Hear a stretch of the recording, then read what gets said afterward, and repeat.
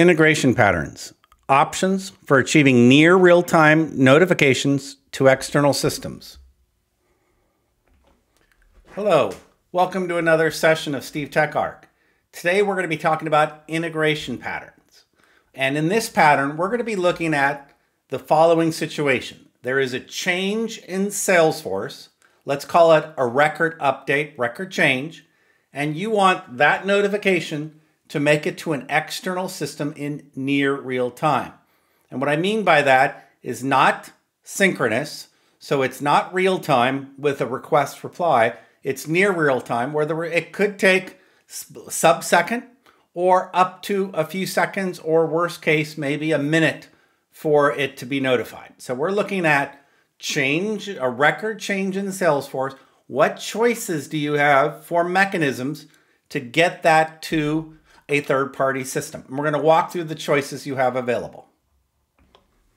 So, first, we're going to start with the following. We're going to start with you're in Salesforce and there's a record change, and you're going to do a record trigger flow. So, this is going to be config, and you're going to use the outbound message.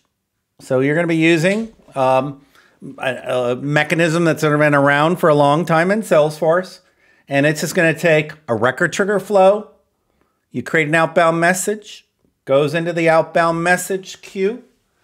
And then, and we can go over the details of an outbound message in a subsequent session. Salesforce outbound message mechanism pushes it to an outbound message listener that you implement. It implements the SOAP web service. And then the listener, which you implement, then sends that data on to the external system. This requires config only. So you just set up the record trigger flow and set up the outbound message. It sends fields on the primary object of the flow. And then if you need to, you can always have a callback mechanism from the outbound message. So this is your first option, all config. Now a second mechanism, this is a more, um, you know, modern mechanism you could do is have your record change with your record trigger flow, and then you publish a platform event on the event bus. So this is very straightforward, very fast within Salesforce. Just record trigger flow, publish the, the to the event bus, and then the external system. This is different. Instead of having the external system implement a SOAP web service, in this situation, the external system subscribes to the event and we've talked about the relay state and replay ID. Um, the replay ID of you know all messages and back to the retention window, or just new messages only, or messages up to a date in a different session. So this is your more uh, let's call it modern technology stack choice. That is of all config record change, record trigger flow, publishing the event onto the event bus and then having the external system. But this is the key: is the external system needs to be able to subscribe to the Salesforce Platform Event Bus. Now, you could follow along in that pattern, but be using Apex. So you could have a record change, have an Apex trigger, and then the Apex trigger could be writing a platform event on the event bus. Very straightforward, minimal amount of code. And then an external system, again, has to subscribe to the event and pick it up. So this is a straightforward mechanism using platform events. Now you may choose to purchase and implement Salesforce Change Data Capture, CDC. And in this case, there's a record change, CDC records it, and CDC writes the events to the event bus and you could have the external system subscribe to the event to that particular event. It's a different event than your custom event. It's a CDC data change event. And you can either have them subscribe directly or you can create what are called custom channels. And we could be talking about that in a subsequent session.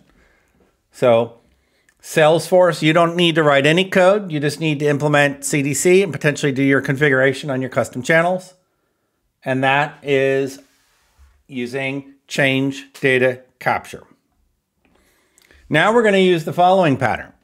The external system has an exposed web service. So they're not able to call in and subscribe to a platform event, but they've exposed an endpoint web service.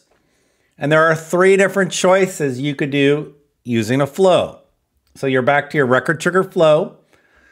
It's a new option. You used to be able to just do external services where you define the YAML, the API spec for the services, and then you could have a record trigger flow called the external services, which will hit the exposed web service. You now can do HTTP callout actions from record trigger flows, and this will allow you from a record trigger flow, get you callout action, and for the extra exposed web services. Know, that, of course, that this will probably run in a separate context. And then let's take a quick look back. This, going back to Apex, this Apex trigger um, will can run in the same context. But right here, so we have HTTP callout, external services. Now you could also have an Apex callout in what's called invocable Apex. That's where you wrapper the callout and have the record trigger flow call the invocable apex. So each of these has uh, different nuances, but these are your choices. Record, change, record triggered flow, and then have it call an HTTP callout, external services, or an invocable apex callout. Let's go take a look at the next option. So this could just be using a straightforward apex callout. So what I could have is a record change, apex trigger, making the apex call out. Now what you can now do is you can hit the rest or even go for the older SOAP calls. Now there are key nuances that the apex trigger can't make the context directly, that the apex callout needs to be done in an at future or an async, you know, asynchronous call. But the, but the key nuance is you have your record change, your Apex trigger, which leads to your Apex callout, which goes to the web services. So these are choices you have available. You need to be looking at the third-party system you're talking to.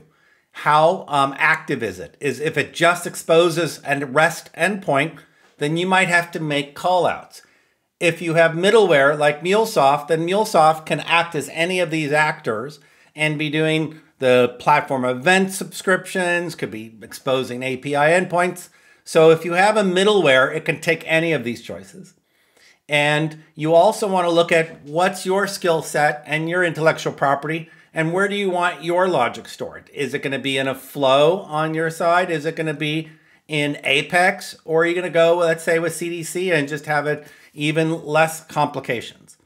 Um, so you need to look at your skill sets and where you want your logic.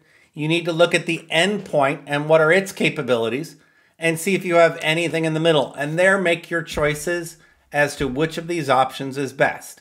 Code has more complexity, but it can handle more end use cases. The um, config can be simpler, but it may not handle some of the complexities, complicated mapping, intricate steps. So these are some choices you can look at um, when you're making looking at your patterns. Hope you enjoyed nifty notifications. Join me again, same bad time, same bad channel. Subscribe to YouTube, Steve TechArc, and www.stevetecharc.com, and like and subscribe. Thank you very much.